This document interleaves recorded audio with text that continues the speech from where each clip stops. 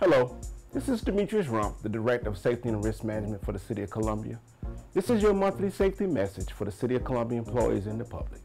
Today I will be discussing workplace safety tips all employees should know.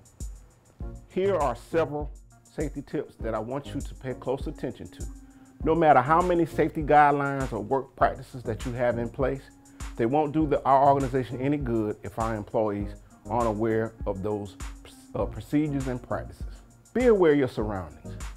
A lot of our work sites have inherent dangers like working around large equipment conveyors or even tripping over items in the office.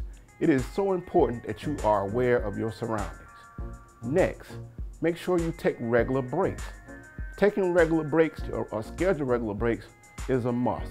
OSHA has put these guidelines in place because tired workers are more prone to have incidents. Emergency exits. Make sure you do not put anything in front of an emergency exit, even if it's only for a short period of time. Never take shortcuts to procedures. It is very important that you follow all the safety guidelines and instructions when operating any equipment and make sure you use the right tool and the correct tool for that piece of equipment very correctly. Making sure that you also wear your personal protective equipment that's being provided to you. Wearing that personal protective equipment could potentially prevent you from being injured. New safety procedures and updates. Anytime we buy any type of equipment, we need to make sure that uh, those procedures are being adhered to and any updates to any of our safety training.